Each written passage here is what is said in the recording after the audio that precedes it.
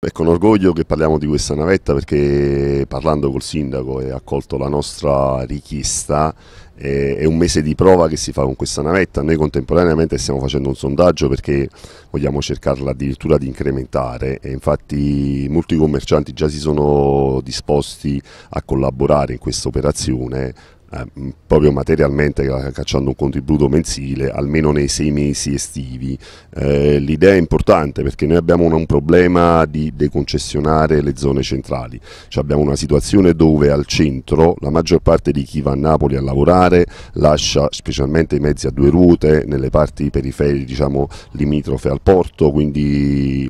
eh, il primo problema è questo, poi ci sono tutti i nostri collaboratori e noi stessi che veniamo a lavorare che al mattino nello svolgere il nostro, il nostro mestiere lasciamo principalmente i mezzi a due ruote nelle parti centrali. Poi c'è tutto il traffico delle auto e quant'altro, è inutile dirlo, eh, le zone principali, specialmente via Alfredo De Luca, San Ciro e quant'altro, sono completamente, e anche tutta la zona che va verso Ischiaponte, sono completamente eh, intasate. È stata presa una posizione finalmente perché abbiamo passato un lungo inverno a parlarne, c'è stata chiesta collaborazione collaborazione da parte del comune anche a tutti i commercianti per quanto riguarda una partecipazione fattiva, però il sindaco ha ben fatto eh, e ha messo a via sperimentale questa navetta che farà queste quattro tappe fondamentali nel centro di Ischia, eh, bella fresca con una immagine innovativa che invoglierà anche a prenderla, cammineremo anche un po' a piedi, non intaseremo il centro di Ischia eh, perché sappiamo che purtroppo le macchine sono sempre di più e mai di meno,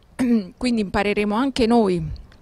in maniera civile ad usare bene questi mezzi di trasporto. Si prevede che in futuro venga incrementato, vediamo come va, spero bene che gli ischitani reggano bene, eh, perché siamo prima di, noi, prima di tutto noi che ci dobbiamo abituare a prendere i mezzi pubblici Dopodiché eh, cercheremo anche noi con la Confcommercio di aprire un discorso, anzi ne abbiamo già parlato in un tavolo eh, di lavoro informale, eh, per, ehm, per un incentivo, per una collaborazione.